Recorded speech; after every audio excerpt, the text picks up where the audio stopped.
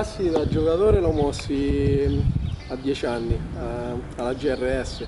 Prima facevo nuoto perché lo voleva mamma, lo voleva papà. Partito come mediano davanti alla difesa, poi a Narni alla GRS, poi a Narni mi hanno spostato a trequartista e dalla Tirus in poi attaccante. Allora, come punta Venturi de, dell'Olimpia Tirus, come prima punta Marco Antinucci.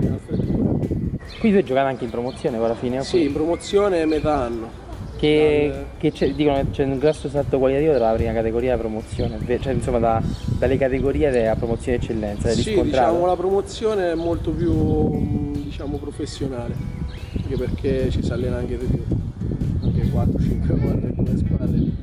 E sì, mh, mm, però anche in prima categoria sono giocatori veramente forti, poi è normale quando alleni di meno il livello leggermente, anche i ritmi sono sono bassi, però la qualità anche in prima c'è. Senti, ma sei sempre, da quando torniamo in basso quando eri bambino mediano, no? è sempre sì. stato un crack oppure hai faticato un pochino per diventare diciamo, un giocatore di rispetto a livello a quei livelli lì, insomma, ragazzini? No, diciamo che hanno iniziato tardi, magari all'inizio un po' faticato, però prima di giocare a 11 anche tra amici gioco sempre a 5, quindi anche diciamo, la rapidità del pensiero, l'estro l'ho maturato sui campi di calcio a 5. Dopo magari avevo una visione del gioco e tutti e due i piedi, destro e sinistro, per poter eh, fare delle aperture e cambiare gioco facilmente.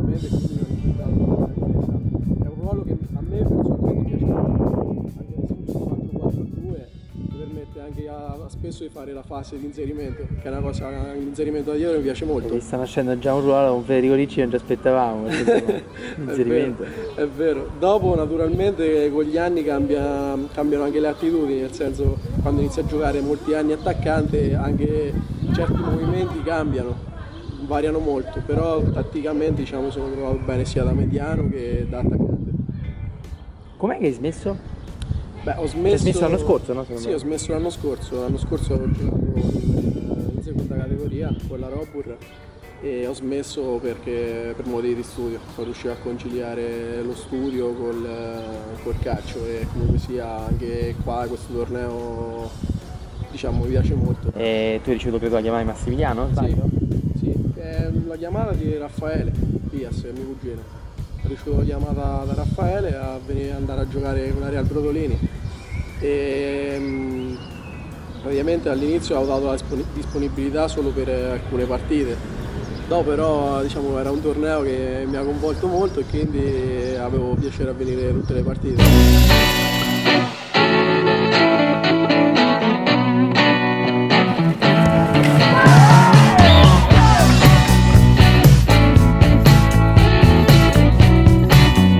Tant'è vero che nei primi 5-6 giornate, se non ricordo mai, giocato tipo un paio di volte. Cioè, ricordo sempre il precedente del Borusnai che tu eri la seconda partita sì. e col Borusnai c'era tipo la quinta la sesta, no? Sì. Senti, qual è stato l'impatto con Real Brodolini? Anche perché comunque eh, è stata poi una stagione particolarmente no? partiva un po' in sordina, poi è andata in crescendo già in regular season e poi è stata una grande Serie B, no? Sì, sì, è vero.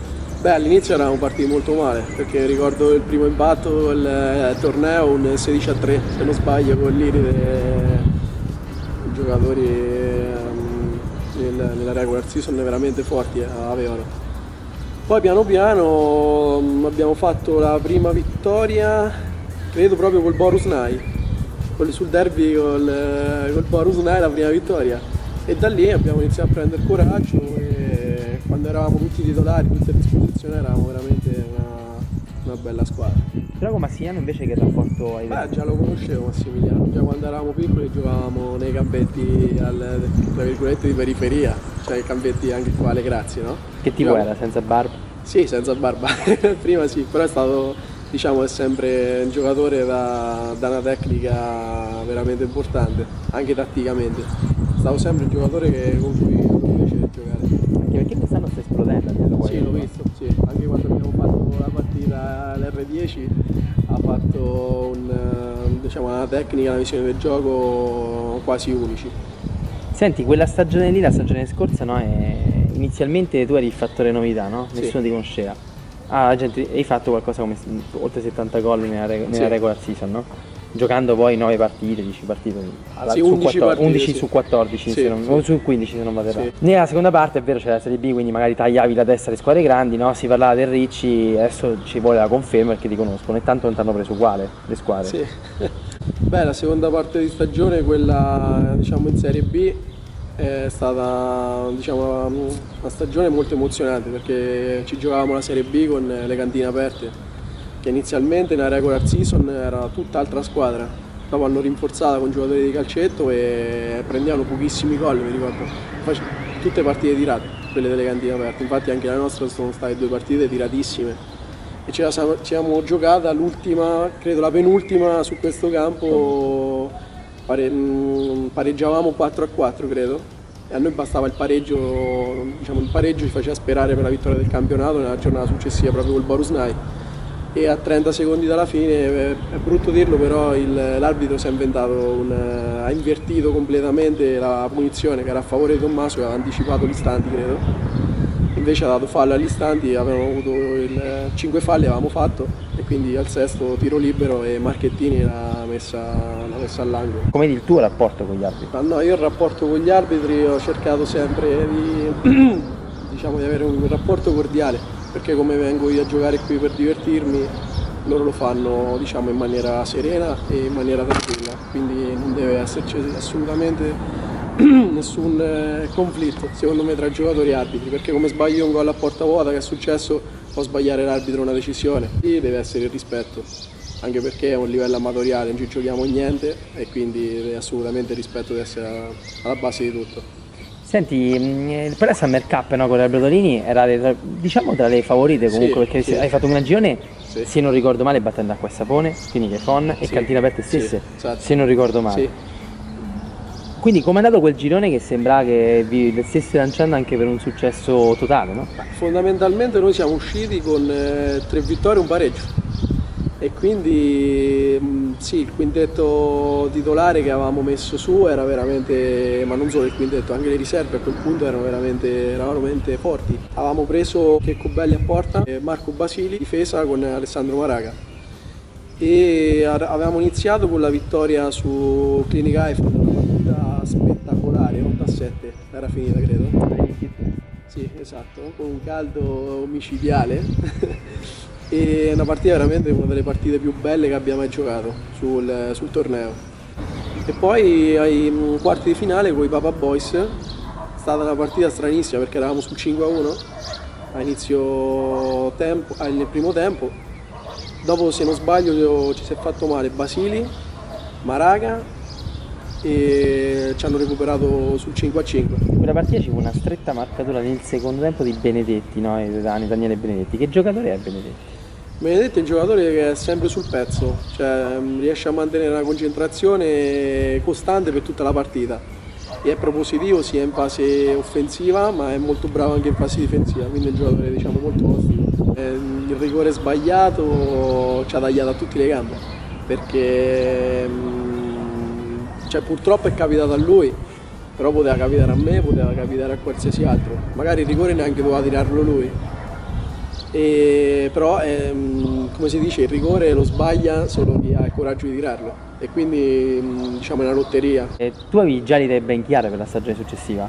Non ti dico tanto, cioè, non so se accidenti, però tu avevi già l'idea che quella sarebbe stata l'ultima partita con la Brodolini? no diciamo no anche perché non sapevo della scissione del- della squadra cosa che sono venuto a sapere successivamente però comunque sia mh, a me piaceva lasciare un bel ricordo sia dalla parte del, del futuro reale sia dalla parte del futuro atletico quindi a scegliere una, una delle due compagini diciamo era difficile anche dal punto di vista del cuore proprio Per quanto riguarda invece il derby di Brodolini, c'era tantissima gente, credo che sia la partita con più gente che ha visto nel Terni, che speriamo di bissarla di- di- in- nelle finali, no?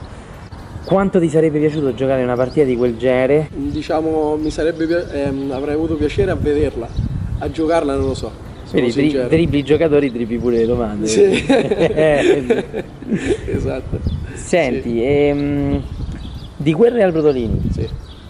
ti chiedo un commento flash su alcuni giocatori. Vittorio Palestini.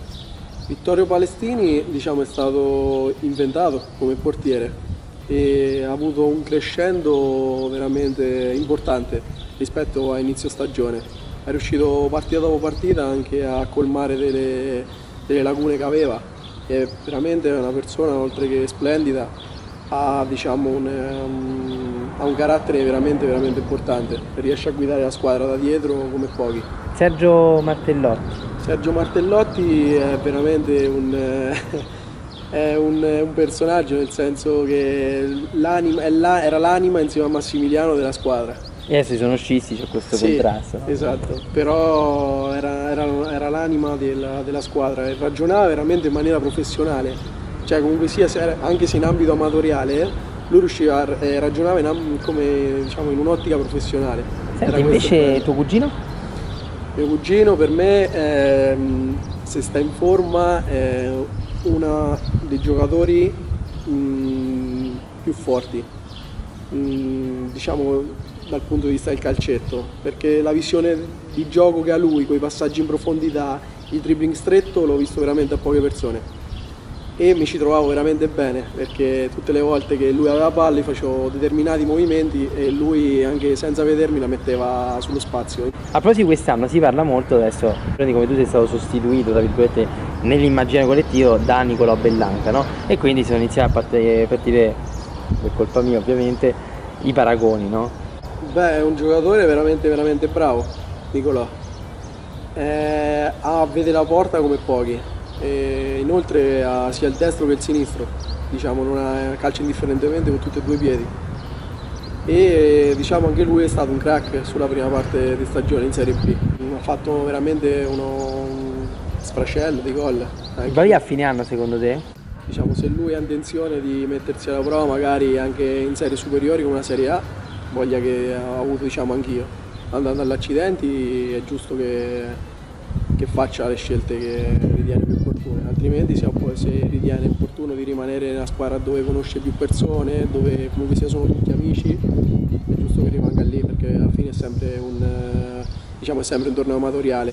Tu quali stimoli hai avuto nell'accettare la richiesta dei Nardoni, credo che ti abbia contattato sì. lui, e quindi di accidenti, cioè di una squadra che aveva vinto la scorsa, la scorsa Serie A, quindi comunque arrivava con la pancia piena. E poi forse questo si è, visato, si è visto nella prima parte di stagione eh, lo stimolo è quello di continuare a vincere. Purtroppo non è successo questo nella prima parte di stagione perché sono venuti a mancare Terzino, Monghini, Picchioni, comunque sia avevamo avuto poche partite fa, eh, Falocco e Teodori che erano praticamente la spina dorsale. Però arriva l'appuntamento il 16 settembre alla Supercoppa contro le cantine aperte. Sì. Ancora le cantine aperte sì. per te. È stata diciamo, le ripercussioni soprattutto nella prima parte stagione dove nel girone d'andata avevamo totalizzato solo 7 punti. E quindi sì è stata una partita diciamo molto tirata però di fronte a una squadra che diciamo di giocatori completamente diciamo composta completamente da giocatori che lo praticano lo praticano settimana dopo settimana il calcetto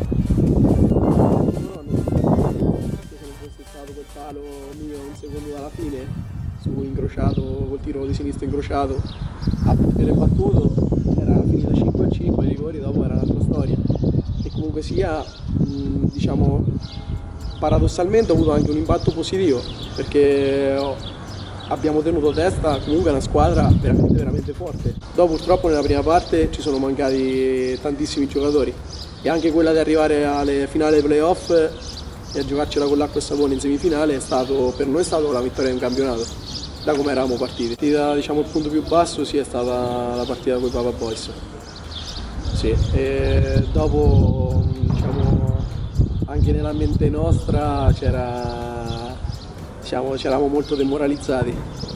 Dopo però siamo riusciti ad inanellare 3-4 risultati utili consecutivi e quando vai in fiducia anche le persone fanno un sacrificio in più per venire a giocare, ti aiutano, ti danno una mano e quindi dopo viene tutto da sé. Senti, qual è l'importanza in questo gruppo di, di Davide Nartoni? Beh, Davide Nartoni è fondamentale perché um, oltre ad essere diciamo, un bravo allenatore è anche una persona da un'estrema intelligenza è intuitivo, è sveglio, è simpatico e quindi è proprio l'ideale per il gruppo nostro. Sì, il bello diciamo, del gruppo è che noi siamo riusciti a riprenderci nella seconda parte perché non, stato, non ci sono stati mai dei litigi interni. Senti, l'abbandono da parte del Lilide Francia Vittoria ha creato un danno soltanto a voi, no? Parliamoci chiaramente. Però il gruppo adesso come sta vivendo? Cioè volete una rivalsa anche verso il campionato? Certo, quello è normale. Mm, diciamo quella rivalsa sarebbe diciamo, In generale, l'Ares fa paura? L'Ares è uno squadrone, l'Ares è una squadra solida, una squadra che prende pochi gol, una squadra che in 50 eh, minuti effettivi di gioco, 40 minuti tiene palla. E quindi è, diciamo, è un um, stile Barcellona nel senso del calcio a 11, squadra che ti concede poco e tu in quelle poche occasioni sei costretto a far male. Federico dici spesso come giocatore che sta solo là davanti, aspetta il poi e segna. Sì. L'anno scorso diciamo anche il livello del campionato permetteva delle pause durante, durante il gioco. Quest'anno invece sono costretto a rientrare in fase difensiva assolutamente, ma lo faccio anche con piacere. Però spesso anche la tattica di rimanere alto mm, diciamo, ti permette di non far sbilanciare troppo le squadre. Comunque sia, rimane alto un attaccante, mm, diciamo veloce, sull'uno contro uno è difficile marcare, ma non solo io, anche, posso parlare anche di Bellanca, posso parlare di tanti altri giocatori. Invece a proposito di zona gol, no? L'anno scorso non segnai allargai le braccia, no? Stile un po' Ibrahimovic, sembra no? E quest'anno invece fai un altro tipo di esultanza, ci spieghi queste due esultanze? Perché poi la gente pensa che tu sei un po' uno spocchiosetto. No, no diciamo quella dell'esultanza è una cosa, è un riflesso incondizionato. Perché comunque sia lo facevo quella dell'allargare le braccia, lo facevo sempre quando giocavo a 11. Quindi è una cosa che mi sono portato indietro. Mm, dopo questa esultanza è stata diciamo, una trasformazione perché prima allargavo le braccia, poi facevo così e dopo sono passato al. Se avete i boccoli, Sì, sì, no, tipo ci senti, no?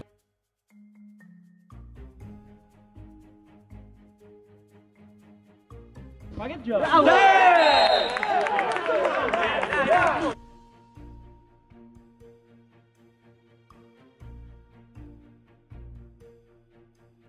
Cioè, quali sono gli avversari che ti hanno più fatto saltare i nervi? Beh, dal punto di vista del gioco, Benedetti era molto, diffi- cioè, molto difficile da affrontare, lo stesso Proietti. E avver- altri avversari molto ostici sono Tommaso Vichi, che è uno che ti rimane sempre attaccato alle caviglie, e un altro molto bravo è Roncetti del, del Clinic iPhone. Ma lo stesso Fagotti, quando ci giocavo contro, era veramente un giocatore su qualche difensore magari entrato in maniera un po' più dura del normale. Giovannini.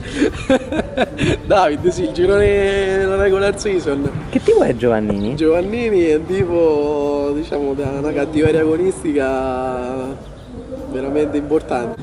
E poi è un giocatore veramente mh, mm, sempre pronto a aiutare il prossimo, sempre pronto a sacrificarsi, sempre non, mai una parola fuori posto. Diciamo il primo anno è stato un plebiscito, il secondo pure comunque ha preso tanti voti. Ti aspettavi di vincere anche il secondo anno il pallone d'oro? No, assolutamente, io non mi aspettavo neanche di essere tra i finalisti. Anche perché la stagione non era andata molto bene fino a dicembre per noi e quindi non pensavo assolutamente di, né di arrivare tra i finalisti né di vincere, tanto, tanto meno di vincere.